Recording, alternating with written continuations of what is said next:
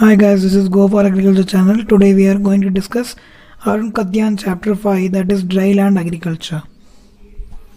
First question A type of farming that is practiced in arid region where annual rainfall is less than 750 mm. This is called dry farming. So dry farming generally practiced in arid region and the problems occur are crop failure and prolonged dry spell. So what is the solution for this alternate land use system? Next question. A type of farming that is practiced in semi-arid region where annual rainfall is more than 750 mm. This is called dryland farming. So what are the problems in dryland farming? Dry spells may occur and moisture deficit in these areas. So the solution is soil and moisture conservation. Next question. Cultivation of crop where annual rainfall is more than 1150 mm. The answer for this question is rainfed farming. So rainfed farming is generally practiced in humid regions and the problem is drainage. Next question. A situation occurring in areas in an year when annual rainfall is less than 75% of the normal. This situation is known as drought. So when deficiency of rainfall is above 50% of the norm normal, this is called severe drought. Next question. Dash is the moisture deficit which result when amount of water in the soil is not sufficient to meet the demands of potential evapotranspiration.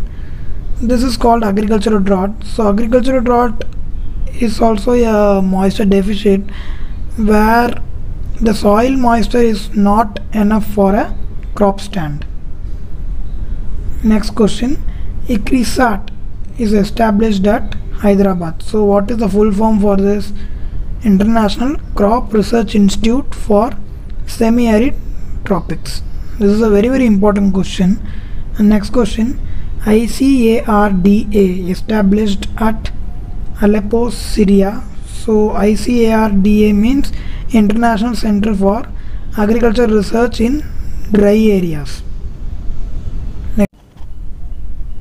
Next question.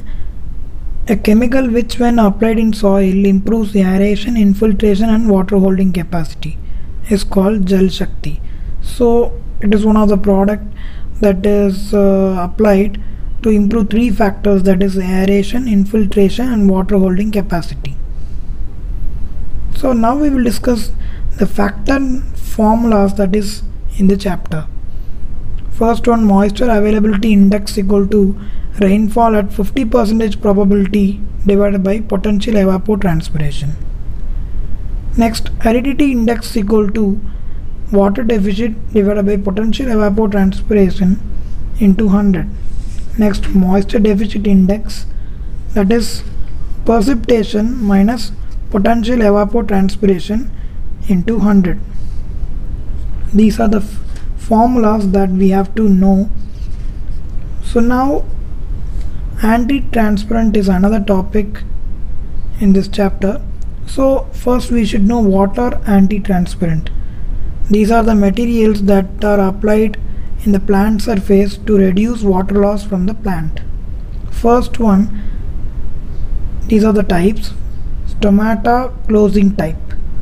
So these anti-transpirant is used to reduce water loss through stomatal closing. So the example is ABA and CO2. These example are very very important for competitive exams. The next question film forming type.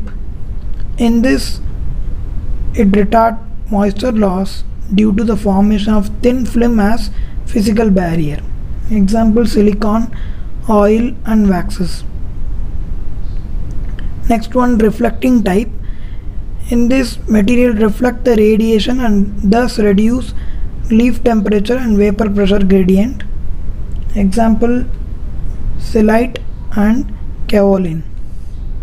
Next growth retardants that is we can say such chemicals that reduce shoot growth and in increase root growth to resist drought. Example is Cycocel